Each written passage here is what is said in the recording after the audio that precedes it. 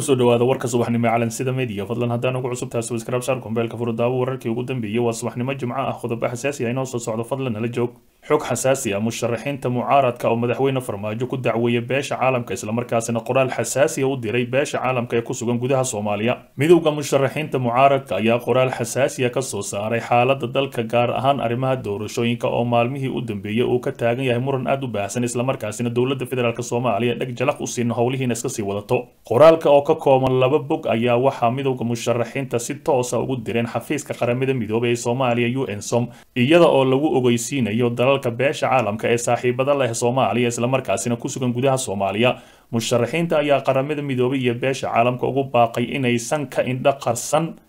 xaaladda cakiran ee dalka soomaaliya ay ka abuurtay xiisada doorashooyinka taasi oo ay hanaankeeda ku kaliyeysatay dowladda federaalk soomaaliya. Sida ay hadalka u dhigeen sidoo kale waxaa qoraalkaasi oo ku qornaa luqadda ingiriiska ahi lagu sheegay in beesha caalamka ka aamustay xatooyo doorasho oo hore uga dhacday maamulada dalka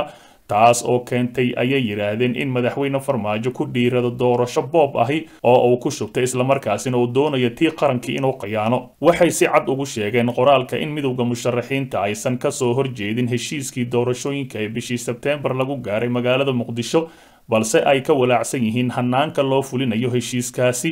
oo ay ku keliyeysatay dowladda federaalk soomaaliya. Madasha musharaxiinta ayaa mar kale ku celisay diidmadeeda ku aadan guddiyada doorashooyinka ee lagu murusan yahay iyada oo sheegtay inay ka soo dhex muuqdaan xubno ka tirsan taageerada fila soomaaliya shaqaalaha rayidka ah iyo hadda nabad sugidda nisa waxaa kale oo qoraalkaasi looga hadlay xaalada dagaalka ee ka taagan gobolka hiiraan ee ka dhalatay doorashada maamulka hirshabelle xiisada gobolka gado iyo walaaca doorashooyinka oo ay muddo kooban inaga xigta islamarkaasina xal waare laga gaarin. Si kastaba ha ahaatee musharaxiinta mucaaradka ayaa si toosa beesha caalamka waraaqada ugu diray islamarkaasina sheegay in xaaladaasi indhaha ay ka qarsanin. Waxaa la ogyahay in madaxweyne farmaajo inta badan beesha caalamka war uu ka maqlo uusan waxba ka maqlin siyaasiyiinta soomaaliyeed ee dalka la leh dhinaca kale xog beesha mudulood oo cali guudlaabe hor dhigtay laba daran mid dooro. Odayaasha dhaqanka mudulood iyo siyaasiyiinta beesha ayaa la sheegay in madaxweynaha hirshabelle cali xuseen guudlaabe u soo jeediyeen inuu kala diro guddiga uu magacaabay madaxweynihii hore ee maxamed cabdi waare guddigaasi oo ah heer dowlad federaal. Warar lagu kalsoon yahay oo hesha calansida media ayaa sheegaysa in siyaasiyiinta mudulood ay madaxweyne cali guudlaabe u jeediyeen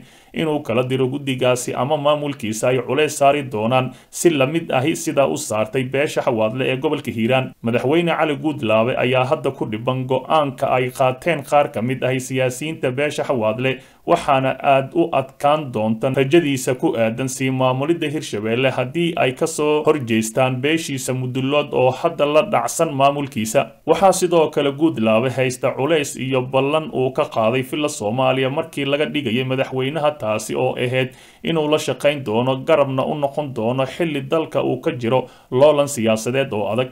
guddiyada doorashada hirshabelle koonfur galbeed iyo galmudug ayaa la xareeyey waxaana weli soo baxaya doodaha arrintaasi ka taagan oo ay muujinayaan siyaasiyiinta mucaaradka ahi. Macadda go'aanka uu qaadan doono guudlaabe waxaase macquul ahay inuu muddo la sii shaqayn doono madaxtooyada ilaa xaaladda ay ka gaarayso meel sare si kastaba ha ahaatee siyaasiyiinta ugu caansan mudulood oo ah mucaarad ayaa xoog ku saaray cali guudlaabe inuu guddigaasi ka soo laabto. Dhinaca kale wafdi hordhac u ah ra'iisul wasaare rooble oo gaaray garowe wafdi hordhac u ah ra'iisul wasaaraha soomaaliya maxamed xuseen rooble ayaa gaaray magaalada garowe ee caasimada puntland. Garoonka diyaaradaha magaalada garowe ee caasimada puntland ayaa lagu soo dhoweeyey wafdi oo hogaaminayo wasiirka wasaaradda arrimaha dibadda dowladda federaalk soomaaliya maxamed cabdirasaaq maxamuud. Wafdigan waxaa ku soo dhoweeyey garoonka wasiiro xildhibaano nabadoona siyaasiyiin mas'uuliyiin kale iyo shacab. Wafdigani ayaa isugu jira wasiiro wasiiro ku-xigeeno taliyaal ciidan la taliyaasha iyo mas'uuliyiin kale waxayna hordhac u yihiin. Imaatinka ra'iisul wasaaraha dowladda federaalk soomaaliya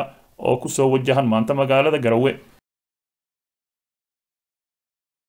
xog xasaasi ah ciidamo aada u hubaysan oo la wareegay guriga shariif xasan sheikh aadan oo ku leeyahay magaalada baydhabo islamarkaasina aanan la ogeyn sababta loogu dalbay ciidamadaasi ciidamada oo ka amar qaadanaya madaxweyne lafta gareen. Ciidamo daacad u ah maamulka koonfur galbeed ayaa maanta joojiya guri guri qalabeyn lagu waday oo uu lahaa shariif xasan sheikh aadan madaxweynihii hore ee maamulkaasi waxaana guriga uu ku yaalaa agagaarka madaxtooyada. Maamulkaasi koonfur galbeed dadka deegaanka ayaa xaqiijiyey in weerarka lagu qaaday guriga shariif xasan sheikh aadan waxaana waxaana weerarkaasi lagu joojiyey dhismaha gurigaasi ka socday waxaana weerar ka qaaday askar watay laba gaari kuwaasi oo la sheegay in ay ka tirsanaayeen ciidamada gaarka ee maamulka koonfur galbeed ee soomaaliya islamarkaasina ka amar qaata madaxweyne lafta gareen. Musharaxan gurigiisa la weeraray ayaa aad ugu xumaaday. Howlwadeenada howsha qalabeynta ahi waday ayaa lagu xiray saldhigga ciidamada booliiska ee magaalada baydhabo sida wararku ay sheegayaan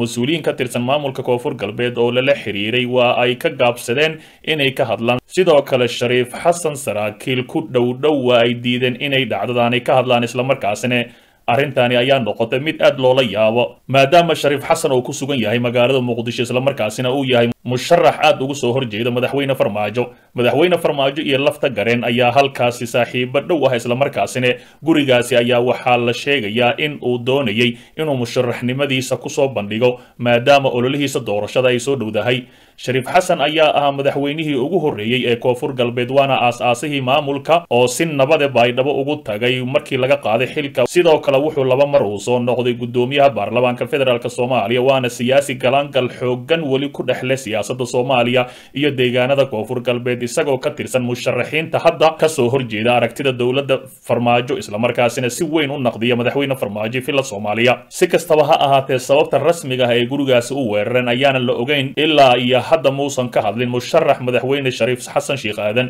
Dhinaca kale golaha wasiirada dowladda federaalk soomaaliya oo maanta go'aano badan lagu meel mariyey shirka golaha wasiirada xukuumadda federaalk soomaaliya uu shir guddoominayay ra'iisul wasaare maxamed xuseen rooble ayaa lagu ansixiyey guddiga maamulka hay'adda saadaasha hawada soomaaliya hindisa sharciyeedka nidaam maaliyadeedka khayraadka dhulka hoostiisa hindisa sharciyeedka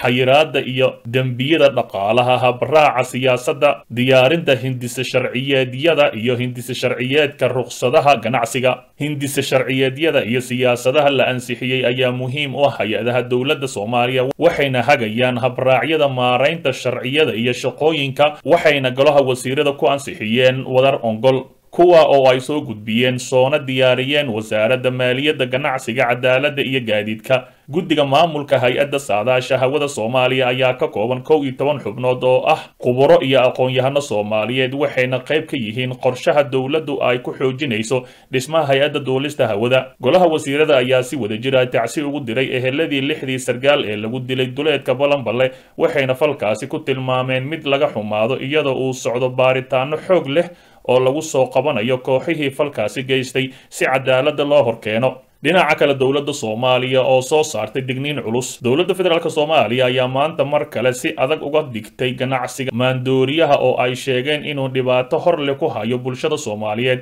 doctor sulaymaan maxamed maxamuud xeer ilaaliyaha guud ee qaranka soomaaliya ayaa sheegay inay weli jiraan ganacsato dalka keenta waxyaabaha maanka dooriya kuwaasi oo ay si dhuumaalaysi ay u soo geliyaan dalka xilli ay dhowaan mamnuucday soo degista qaadka. Dowladda ayaa horey u mamnuucday qaadka miirooga ah ee uga imaan jiray dalkaasi kenya hase yeeshee waxa uu weli si qarsoodi ah ku soo galaa dalka gaar ahaan magaalada muqdisho kaasi oo qiimo sare lagu kala iibsado gudaha magaalada muqdisho. Xeer ilaaliyaha ayaa carabka ku adkeeyey inay ganacsatada dalka soo geliso waxyaabaha ay ka waantoobaan isagoona xusay inay kala wareegi doonaan qalabka ay u adeegsadaan inay dalka ku soo geliyaan haddii uu noqdo doomaha iyo baabuurta sida uu hadalka u dhigay. Hadalkani ayaa imaanaya xilli magaalada muqdisho si aan baqdin ku jirin loogu iibiyo waxyaabaha maanka dooriya oo isugu jira khamri xashiis taabuu iyo qaadka oo isagu go'aan ka dhanka ahi ay soo saartay dowladda